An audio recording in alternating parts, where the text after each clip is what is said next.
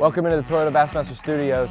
The Bassmaster Classic right around the corner at Lake Conroe in Houston, Texas. The top 52 anglers who qualify for the Classic will duke it out to try to garner the 47th running of this event.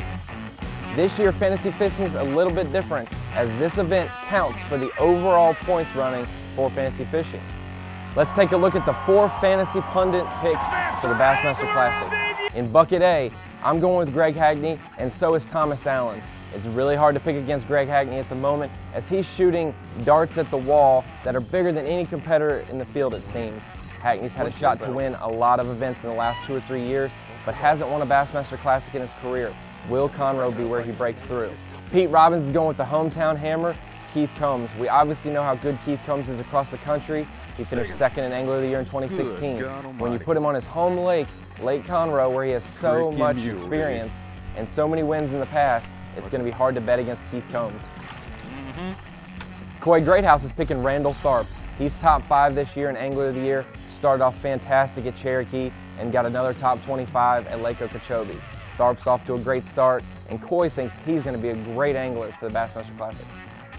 In bucket B, the pundits picked four different anglers as I had to pick Aaron Martens. He's one of those guys who has never won the Bassmaster Classic either, but he has been so close so many times. Aaron Martens is bound to break through in his career. Pete Robbins is going with Jacob Powroznik. Jacob Powroznik's been one of the most consistent anglers since he's joined the Elite Series, and even dating back to the beginning of his professional career. Words, but uh, I ran into some kind of truck. Thomas Allen's going with Mike Iaconelli. He's already won a Bassmaster Classic in his career, and he's came close so many times. In the Bassmaster Classic, you want to pick the anglers that you think can win the event. It's not just about doing well. In the pressure situation of a three-day tournament with so much on the line at the Classic, you have to go with your heavy hitter. And that's why Thomas Allen's picking Mike Iaconelli this week. Coy Greathouse is going with a flipper, Matt Herren. He has won the TTBC before, even though it wasn't on Lake Conroe, so he has experience winning events in Texas. Conroe should play out many different ways as there's pre-spawn, spawn, and post-spawn fish this week. So a flipper like Matt Herren, be able to flip multiple types of cover, can target different kinds of fish and which stages they're in. Bucket C, Pete and Thomas both went with Ott Defoe. They doubled down on Defoe, who is leading the Angler of the Year standings so far after two Elite Series events of the 2017 season. He's obviously got great momentum, and there's a reason why Pete and Thomas both went with Ott Defoe. I never flipped the sixth place currently. I myself am going with Andy Montgomery, someone who's not going to get picked a lot. Lower ownership percentage is good for me. I enjoy picking guys who are under the radar, so to say, and I think Andy Montgomery will find his rhythm fishing a swim jig, flipping docks, feeling comfortable like he fishes in the Carolinas. Coy is going with Bobby Lane. Bobby Lane's done great in these first two events, put himself in prime position in the Angler of the Year standings to do well. He's coming off a top 12 at Lake Okeechobee in the second Elite Series event of the year, taking that momentum into Lake Conroe, and we've seen how Bobby Lane does well in the Classic. He got a second place in 2015 at Lake Hartwell, and he's never finished outside the top 25 in the Classic. In bucket E, I'm going with Hank Cherry. Hank Cherry is one of those guys who will use a jerk bait to the best of its ability. He can catch pre-spawners on it. He can catch the post-spawn fish coming off uh, off the beds to the end of the docks, things like that.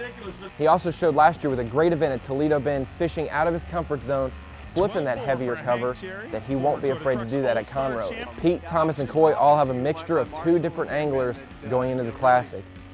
Pete's going with Brent Ehrler, Ehrler's uncharacteristically struggled at Cherokee, but turned it around at Lake Okeechobee and had a solid event. Thomas is going Jason Williamson, second in the Angler of the Year standings right now, having a very consistent season to start 2017. And Coy was undetermined. It's odd to see an undetermined pick, but Coy was stuck between Jason Williamson and Brent Ehrler. So he had both things going for him, momentum of Jason Williamson and Brent Ehrler showing up big in these situations. In the final bucket, we have a lot of Opens pros, Elite Series rookies, and the nation and college guys. I'm going with Skylar Hamilton, one of the more under the radar rookies that we have on the Elite Series. He won an Open last year to make it to the Classic. He's doing very well this year, fishing very comfortable. Pete and Thomas have to go with Jesse Wiggins. Jesse Wiggins busted on the scene. He won an Open in 2016 to qualify for this Classic. Then he turned around and won the first Open of the 2017 season to make it to the 2018 Classic. Wiggins almost won the Cherokee Elite Series event as well. So he has some fantastic momentum and he's coming into his own at a high level. And the last pick of fantasy fishing in Bucket E is Coy Greathouse picking Alton Jones Jr. Jones is one of the five Texans in the field. He won an open at the Red River last year to punch his ticket here. He'll be fishing with his father, the fifth father and son duo to fish the Classic. Well, there you have it, your fantasy fishing wrap up for Lake Conroe. Make your picks at bassmasterfantasy.com. Get in on the action and see if you can take home the grand prize.